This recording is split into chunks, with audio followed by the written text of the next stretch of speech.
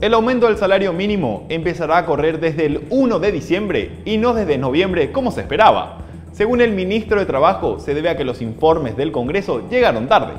El nuevo salario mínimo quedó en 1.964.507 guaraníes, es decir, un aumento de casi el 8%.